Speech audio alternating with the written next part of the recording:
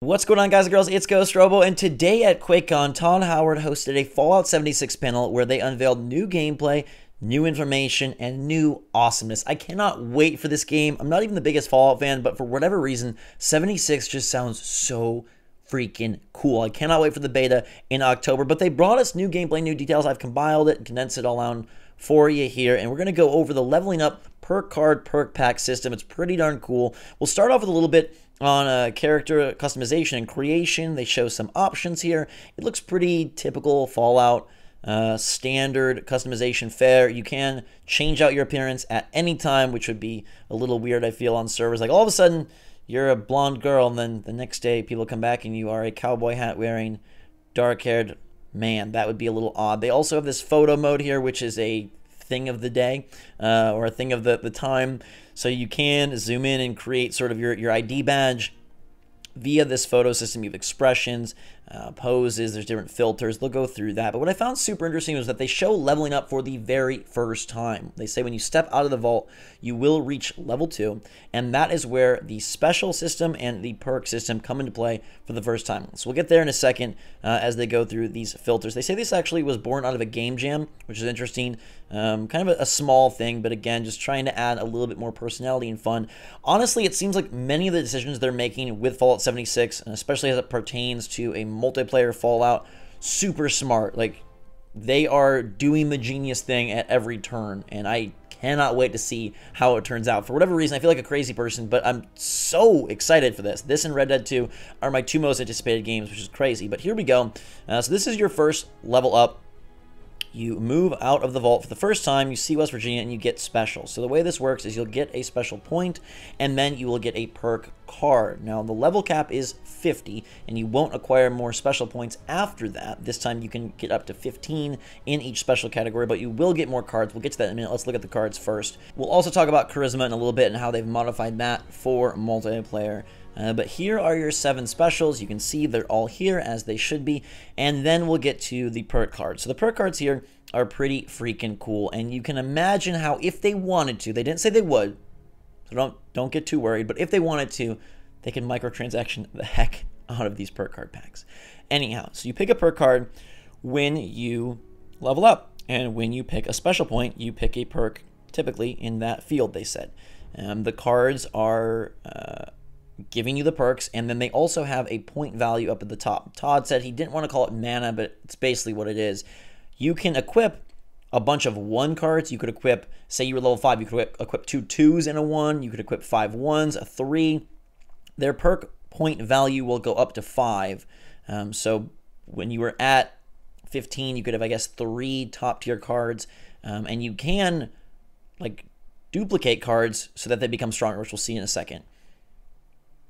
This is the, the Gladiator perk. It's a melee perk. One-handed melee weapons do 10% more damage.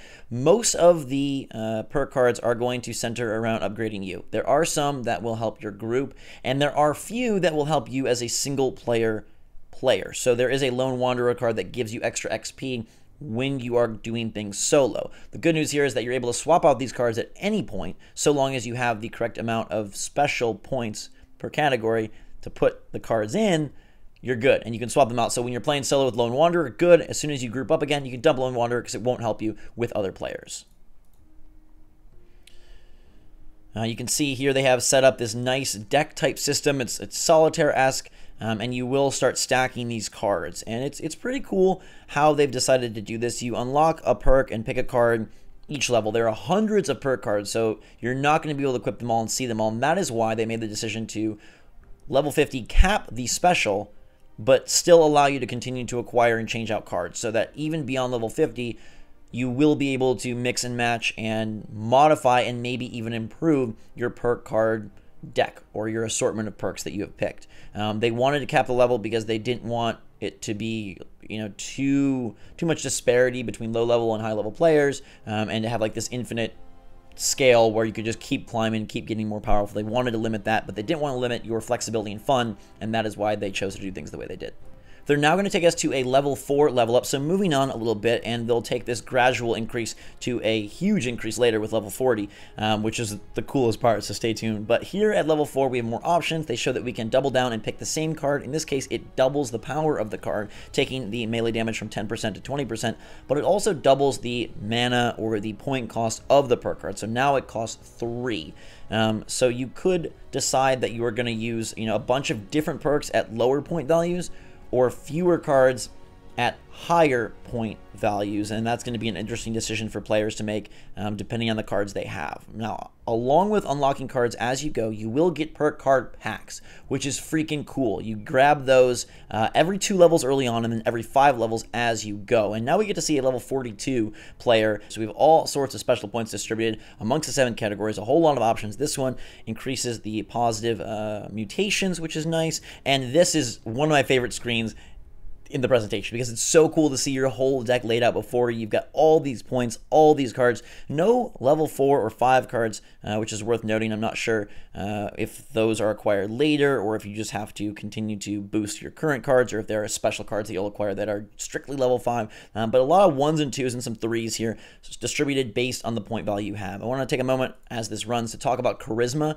So normally charisma is the special stat that deals with uh, npcs and since that's not a thing in fallout 76, it's going to mostly benefit your multiplayer experience. So it'll help share cards and share perks amongst your group. So someone that invests in Charisma is someone that's going to want to play a lot of multiplayer Fallout 76 and within a group more often than not. Otherwise, that's probably not the special stat that you really want to uh, invest in. Now, they did say that there's hundreds, so you're constantly coming across new ones. And one of the fun things here is that you can continuously, and, and as often as you want, uh, mess with your loadout, mess with your perk deck, and basically completely flip your character, not the special stats, but how you're using those stat points via these perks and dramatically alter the kind of player that you are. And that flexibility, um, I think to some players will seem super fun and maybe to a small portion seem a little weird that you're not locked into choices. But here we have the perk card pack. Again, these seem perfect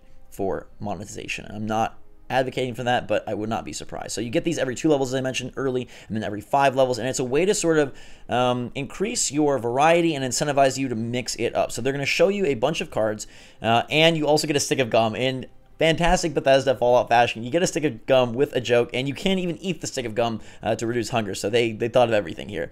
Uh, it feels so old timey and real and 90s, and it's obviously the game's not set then, but it feel it reminds me of being a kid and opening a pack of X Men cards or Pokemon cards and getting like you know I guess with the X Men card stickers and stuff like that. Um, so it's very cool how they have decided to do that, and we'll go back to that uh, perk card screen because they made sure to say like they try to make it really fun um, as you can see like the, the gold card would be your rare card um, and it's shiny and it's moving I guess that's where the animated cards come from so we saw some of those earlier on in the gameplay and the animated ones are going to be uh, I guess the the rarer or the most the most special special perk cards. But these perk packs are really fun, um, and you don't have to use any of these cards. They are just extras that get added to your your stack because you can swap them out. So while you are picking one per level up, you'll also be just sort of adding um, in in groups of, of four cards to your overall supply or your overall pool that then you can put in or not put in as you want. And then eventually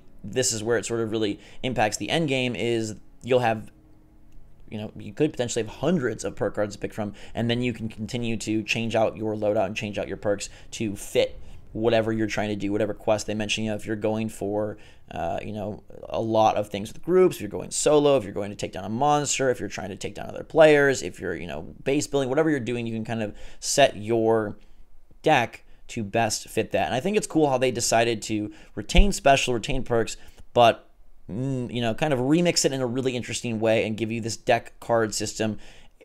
Everything just looks so cool about the game. It looks so smart. I'm going to talk PvP in a different video because I think the way they are handling it there may be the best thing they're doing. How they have decided to handle players trying to grief slash troll other players brilliant. I love the system, and I'll share that with you uh, in a different video. But for now, let me know what you think about the leveling up system and how you feel about these perk cards. Would you be interested in buying the packs if they put them out that way? Since there are hundreds of cards, if you did not want to invest in getting all the way to 50 and beyond to acquire a good portion of them, maybe just buy some packs, and then you have plenty of options for your special new Vault Dweller, now West Virginia Wanderer. I think the game looks fantastic. Cannot wait for the beta. Let me know your take in the comments down below, everybody. Thanks so much for watching. A fantastic day, and you had fun watching the video. Till next time, drink much, and we will see you all later.